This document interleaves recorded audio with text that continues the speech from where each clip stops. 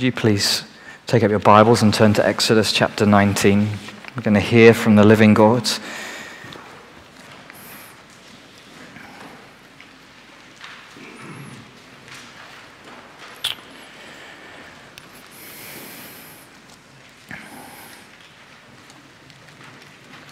Exodus chapter 19, that's page 60. Or if you've got one of the blue larger print, it's page 71. Exodus 19.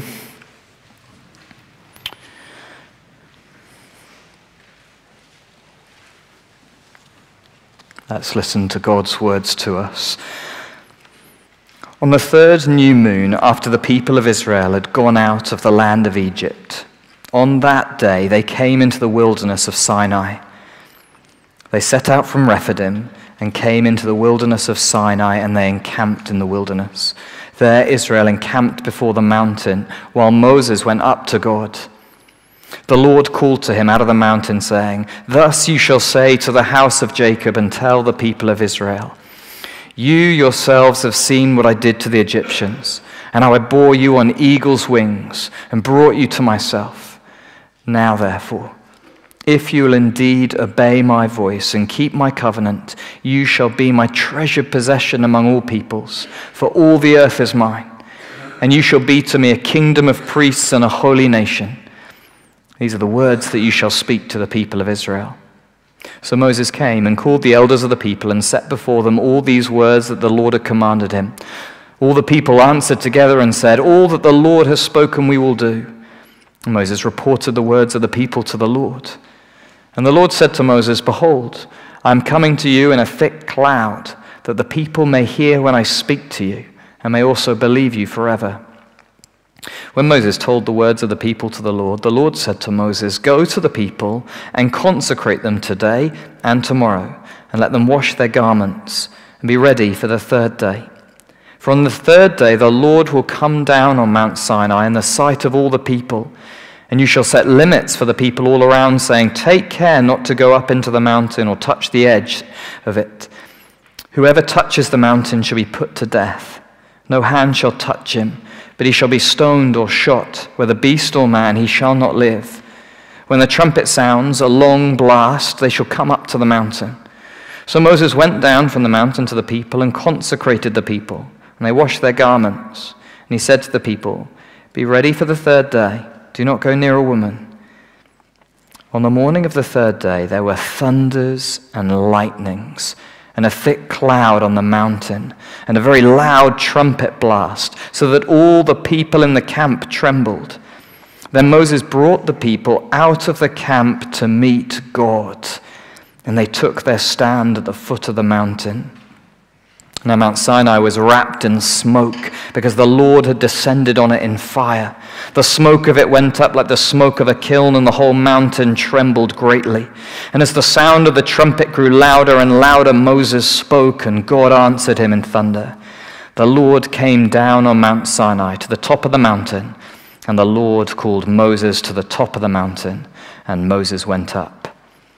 And the Lord said to Moses, Go down and warn the people, lest they break through to the Lord to look, and many of them perish. Also, let the priests who come near to the Lord consecrate themselves, lest the Lord break out against them. And Moses said to the Lord, The people cannot come up to Mount Sinai, for you yourself warned us, saying, Set limits around the mountain and consecrate it.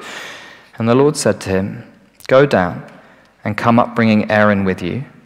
But do not let the priests and the people break through to come up to the Lord, lest he break out against them. So Moses went down to the people and told them. Amen. And take up your Bibles again and turn back to Exodus chapter 19.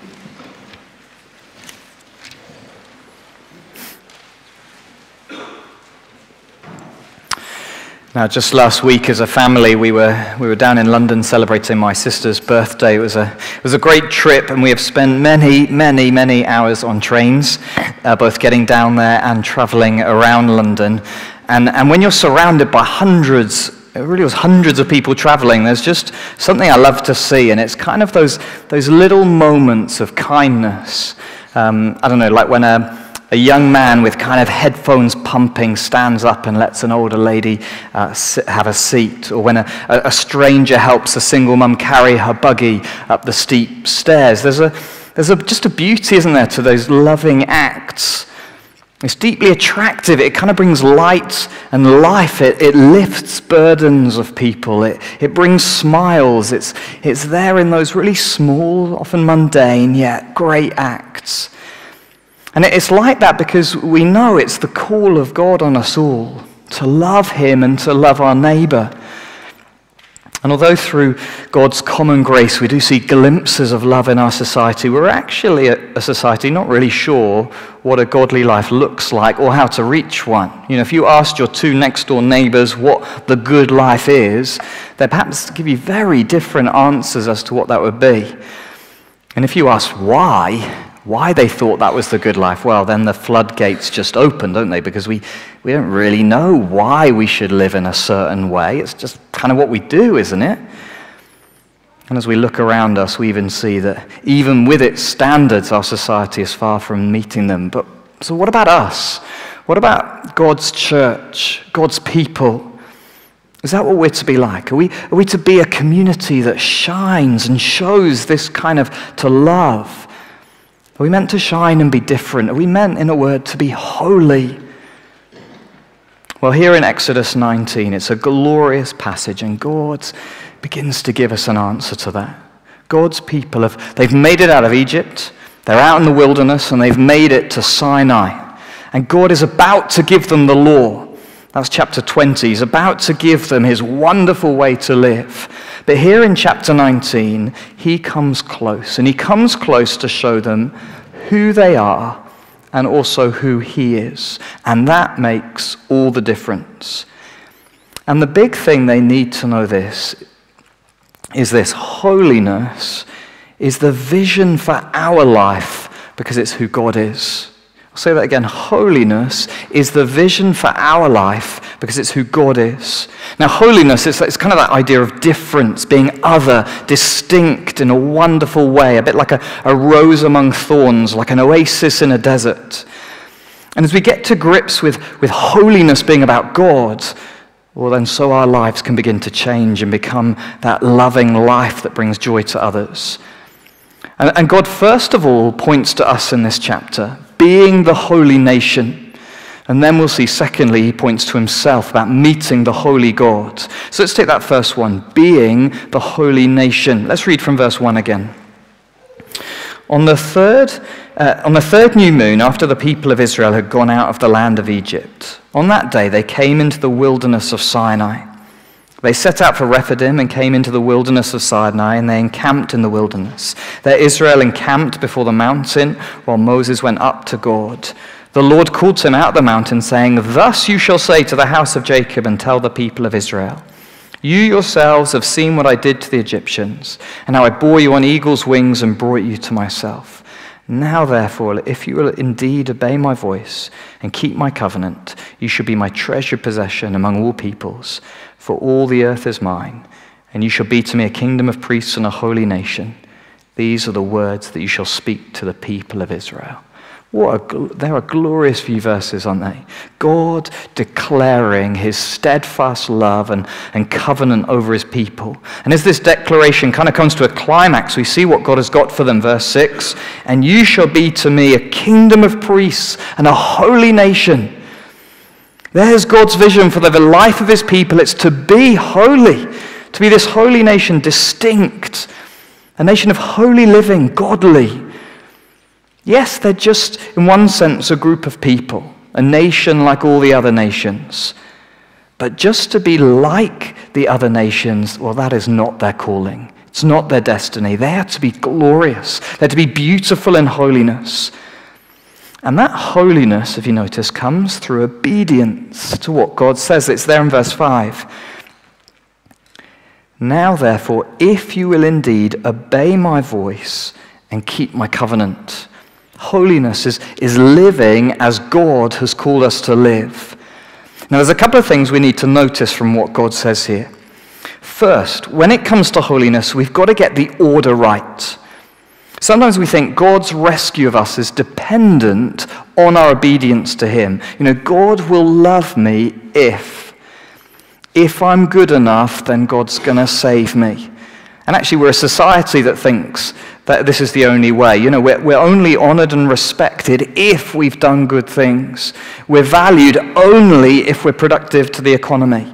And other religions are the same. You know, a Muslim believes he has to earn his way to, to God. Perhaps you've thought that. God's only going to love me. He's only going to let me into eternal life if I've done enough. What a burden. What a weight to carry. But that is not the order here. Verse 4 You have seen what I did to the Egyptians and how I bore you on eagle's wings and brought you to myself. Here's God's people. They are already his covenant people. They are already chosen, already receivers of God's promises. They are already God's firstborn. And they've already experienced God's salvation, his rescue. They're out of Egypt, they're free from slavery. They've been rescued in order to obey and live out God's commands. It's not the other way around. This is the gospel order. What God has done comes before what we do. As the Apostle John puts it, we love because he first loved us. Or as the Apostle Peter puts it, once you have not received mercy, but now you have received mercy, and then he says, keep your conduct honorable. Mercy before what we do. And there's no greater way of seeing that order than here with the Israelites. God had to rescue them from Egypt before they could come to the mountain of God. They had to be saved in order to come and hear the law. It's the gospel order. But they are rescued to obey. Verse 5 Now, therefore, if you will indeed obey my voice and keep my covenant, God really does have a better way of doing life. His covenant requires faith. That's how we're saved faith alone. But true faith is never alone. It displays itself in our life through obedience to God's voice, through keeping his covenant. So, secondly, we need to see that this obedience, well, it has wonderful impacts on God's people. It shows us holiness is a good thing. Verse 5 You shall be my treasured possession. Now, in one sense, that's already true. They've been rescued, they've been set apart from other nations already. This word here for treasured possession, it's, it's used elsewhere of a, a king's personal possessions. You know, a king owns everything, and yet here is something deeply close to him, personal, special. Know, perhaps like a, a crown jewel that sits protected but admired in his personal chambers. And it's as if, as God's people obey, they shine more and more like that jewel, glistening with covenantal glory. They please their God. They bring joy to his heart. Isn't that incredible? Treasured being a holy nation, it's a wonderful thing, being a treasured possession of God. But it also has impacts on others because as they obey, they also act as a kingdom of priests. Now, priests we're going to see later in, in Exodus, so the kind of the go between between God and his people. Aaron would represent the people in God's presence and yet, yet also represent God to the people. And if the whole nation is to be the kingdom of priests, well, now there's a really wonderful outward focus here. God's people are to, to mediate God to the other nations, represent Him out there, bring them to God. Just as we saw with Jethro last week, the nations turning to God. So, in other words, Israel are to be a blessing to others, they're to be a light. They're to display the holiness and beauty of God. They're to make his name known to all. All they come across and bring them to him. Just as Jesus puts it, let your light shine before others so that they may see your good works and give glory to your Father who's in heaven. What a vision! It's a vision of holiness, isn't it? As we obey God, so we live out our calling. We, we live out that relationship with God and we shine out to those around us. We're being the holy nation and this just shows us that holiness, it's not an optional extra. It's not an add-on. It's not like something at the checkout that you can kind of add to your purchase if you want. No, it's what we're saved for. Now, of course, as Christians, we know we're not perfect. We've seen Israel certainly wasn't over the past few weeks as they've grumbled, they've rebelled in the desert. As we're going to see, they had to be kept at a distance from God, a sure sign of their lingering sin. And we know our sin is true too. As Christians, we, we don't stand here as models of perfect living, but we do know, we do know there's a better way to live. And deep down, we long to live it. We long to be that holy nation, don't we?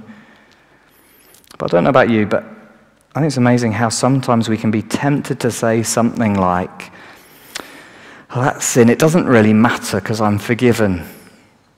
And we try and kind of brush over it, just carry on regardless, like it didn't matter. I don't know, perhaps it's a, a habit of yours that you actually quite enjoy indulging. And yes, we're forgiven in Christ, of course, but we've forgotten we're a church called to be a holy nation. I wonder if sometimes we begin to um, uh, just to be kind of satisfied with our current level of living.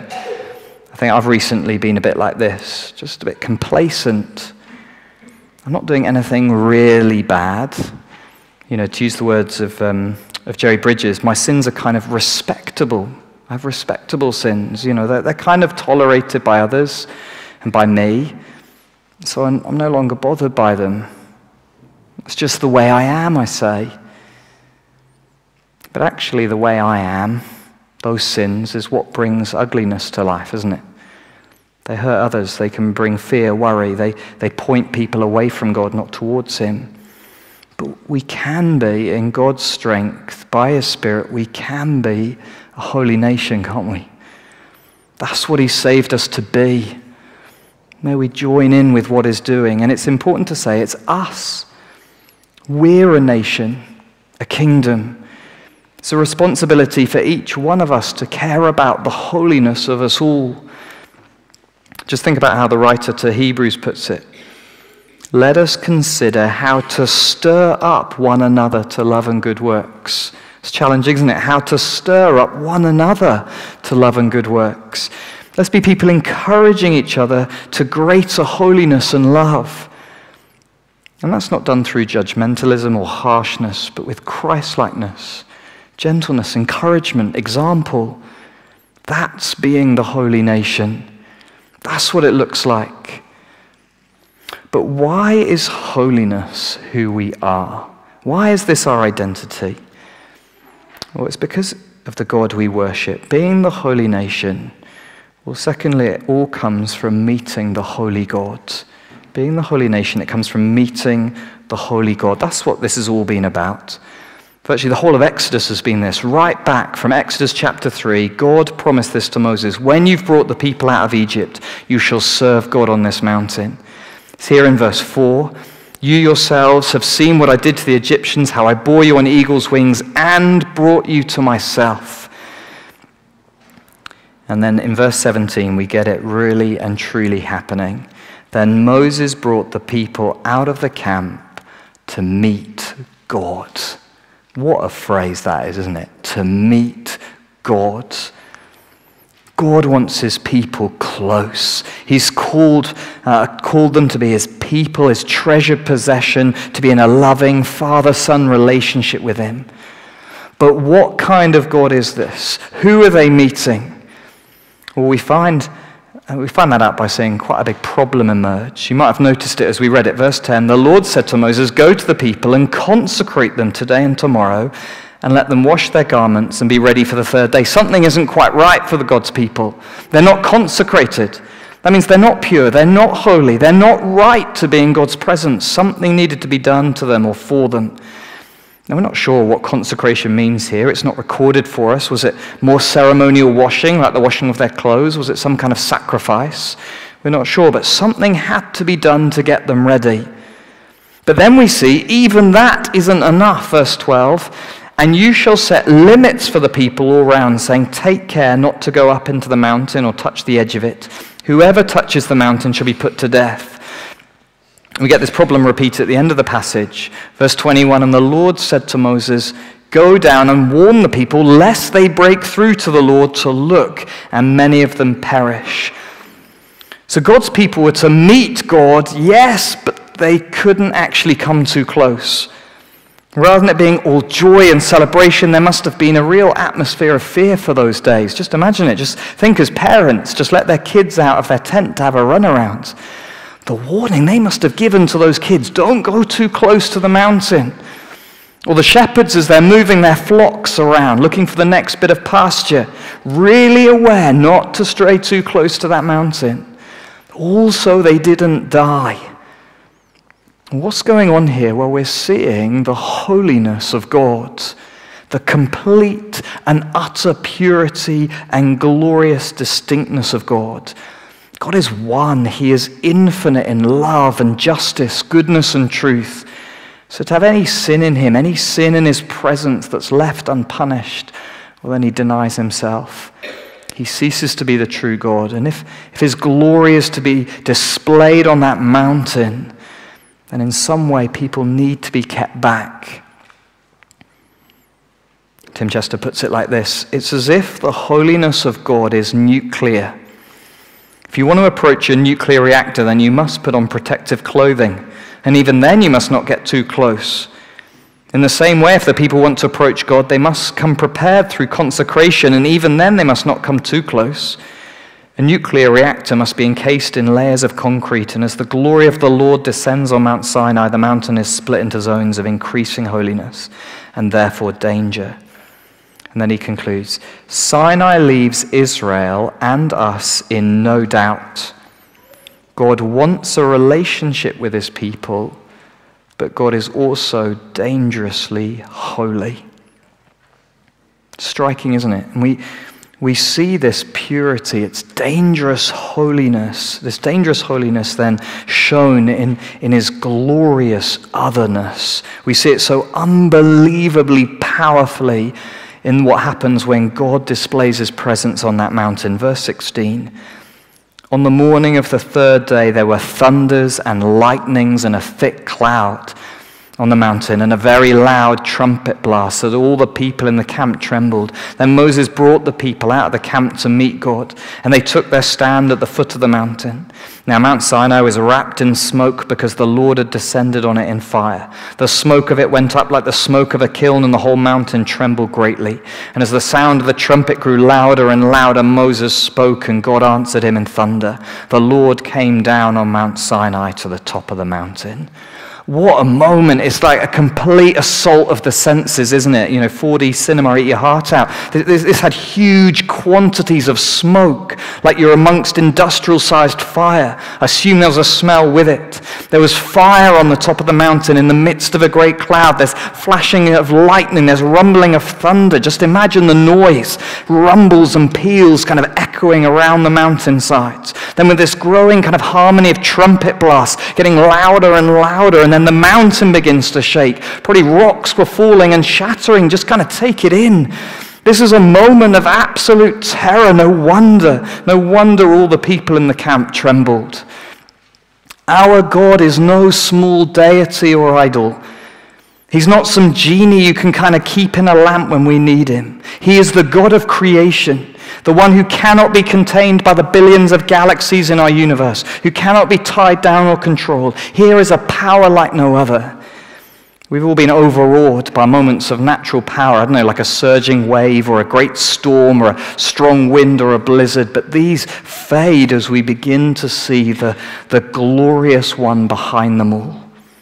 His purity, His holiness. It's nuclear. Meeting the holy God. This is the God we come to meet and worship. This is the God we bow before in the quiet of our rooms in the morning or speak to as we ride on the bus home. This is the God we sing to on a Sunday who speaks to us through his words and this is the God we will stand before when his Son returns in glory. This is the Lord, the God of all, the holy God. How holy do you actually think our God is? How mighty, awesome. He really is other to us, isn't he? Holy other, worthy of our worship, pure. No wonder people had to stay at a distance. May we never come to him lightly or, or flippantly. Because what's extraordinary is what the writer to the Hebrews says about us Christians.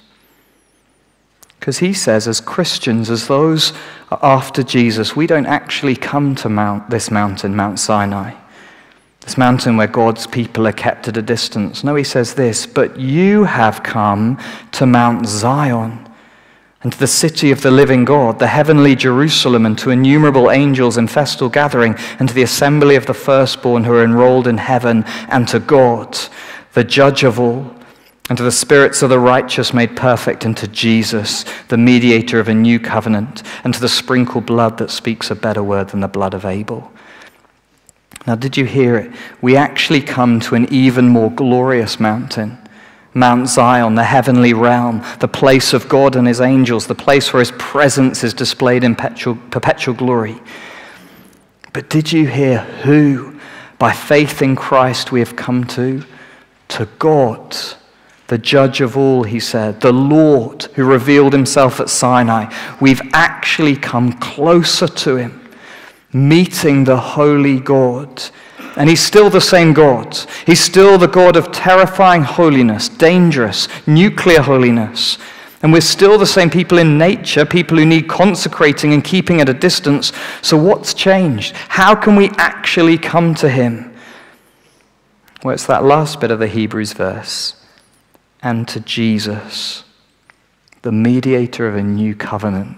Those are wonderful words. We have a different mediator. Now, the role of the mediator was clearly needed in the Exodus passage. I don't know if you notice Moses, he goes up and down this mountain. He's 83.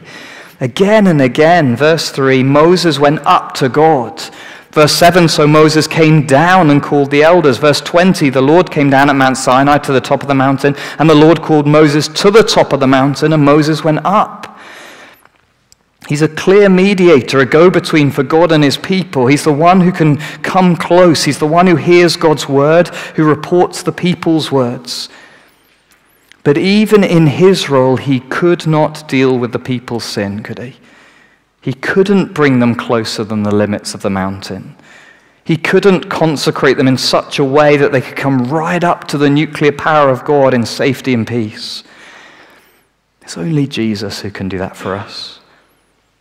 It's only the blood poured out by Christ that can bring us close. And He does.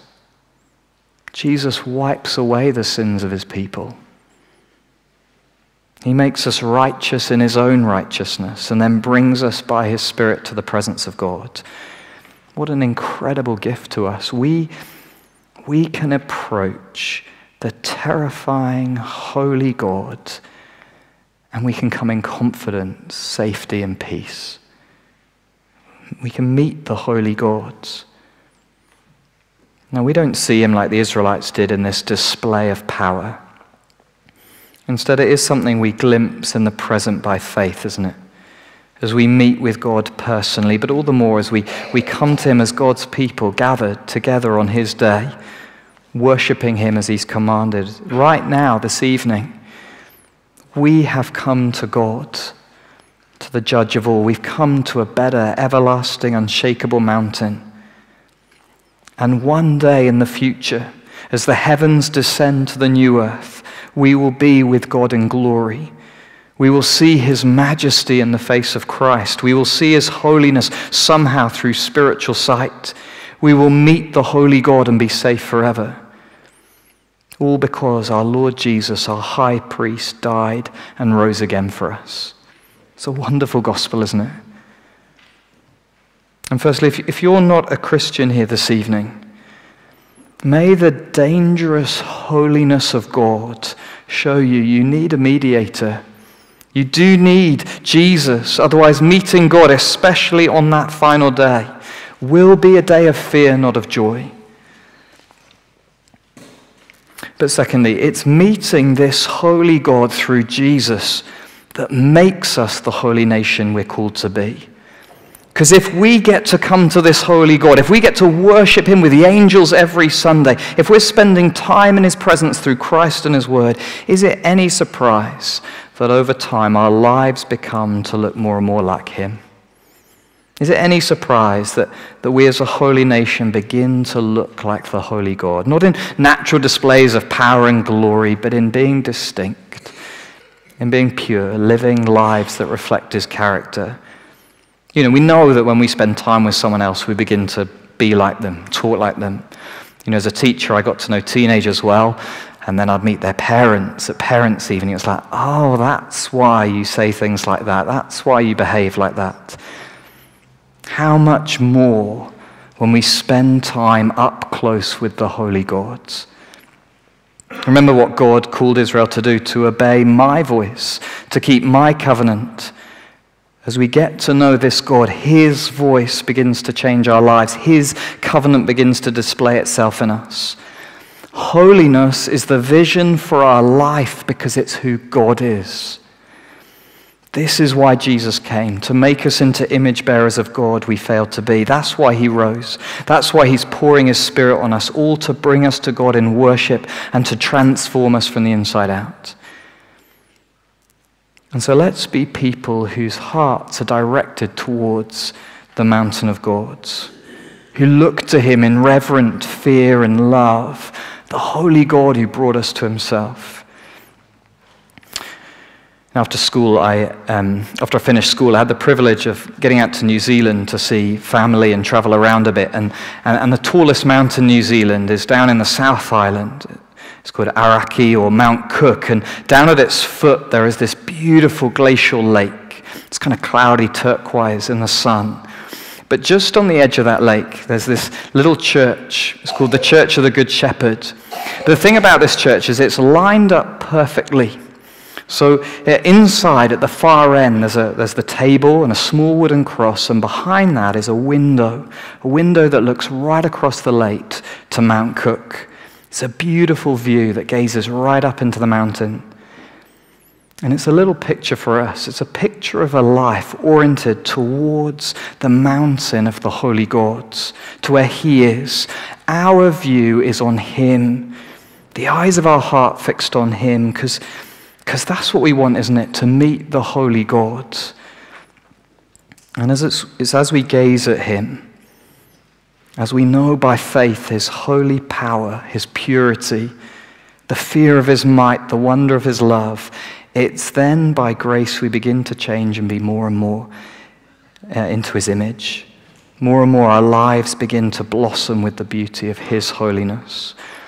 Because holiness is the vision for our life because it's who God is. And then as we grow in holiness, we pray others might see our good deeds and glorify our Father who is in heaven. Amen.